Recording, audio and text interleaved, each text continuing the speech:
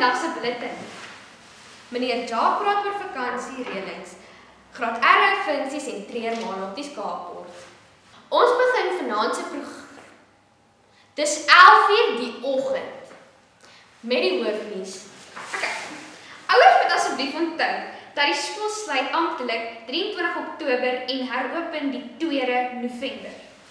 Donderdag 22 Oktober sluit skool vir groep 1 en Vrydag 23 Oktober vir groep 2.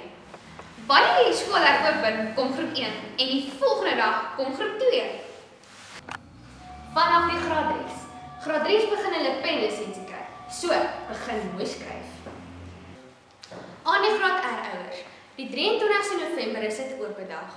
So watch the space. En sportnuus met Johan.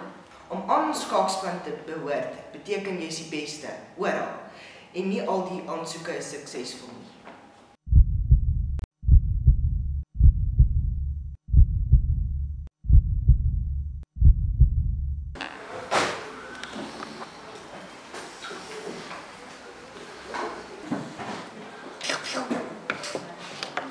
Nee, maar dis nie hier skool nie. Jy's nie by jou vorige skool nie. Dankie Johan. Ons skakel oor weer toe. Ons het sopas 'n laatberig ontvang. Graad 6 leieridentifikasering vind plaas. Gaan. Ons het al hieroor gepraat. Vroets.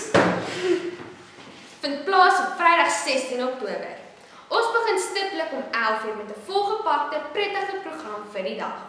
Onthou asseblief om gemaklike wo- gewone klere aan te trek, sonblok te smeer, 'n hoed en handdoek in te pak en natuurlik jou kosblik.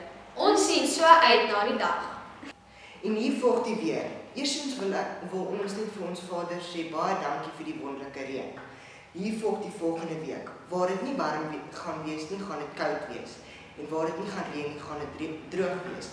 Baie dankie vir die saam. Kyk, geseënde week verder.